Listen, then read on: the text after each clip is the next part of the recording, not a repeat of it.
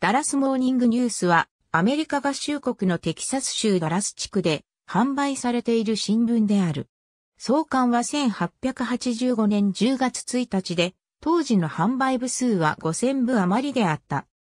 今日では日刊誌は約50万部、日曜版は80万部近くの発行部数を誇る。地元ではこの新聞のことをダラスモーニングニュースをもじってダラスボーリングスヌーズとけなす者もいる。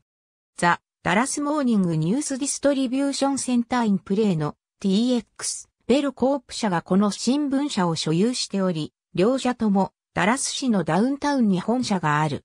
ストリートチームと呼ばれる一体が歩行者にクイックと呼ばれる新刊を宣伝する姿が見かけられる。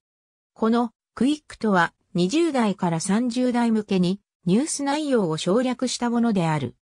過去には NFL のワシントンレッドスキンズを退団したフランク・ゴーディッシュが本紙のフットボールコラムニストを務めた。ゴーディッシュは後にプロレスラーに転向し、ブルーザーブロディとして知られる人物である。